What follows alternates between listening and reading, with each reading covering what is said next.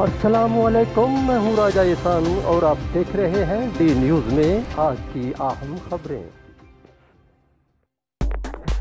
रवायत मर्ज हाल के बाद, अब रवायत मार्ट, इलाका के लिए एक और बड़ी सहूलत। ज़रूरियात ज़िंदगी का सामान, अब मिलेगा एक छत तले। क्योंकि ये है इलाका का सबसे बड़ा मार्ट, रवायत मार्ट। एम पी ए मियाँ अख्तर हयात ने मुज्जीन इलाका के हमरा फीता काट कर अफ्ताह कर दिया। इस मौका पर तमाम मुज्जीन ने कारोबार की तरक्की के लिए दुआ की और रवायत मार्ट के एम डीज़ को मुबारकबाद दी। एम पी ए ने रवायत मार्ट का विज़िट किया और मुख्तलिफ़ स्टॉल्स भी देखे।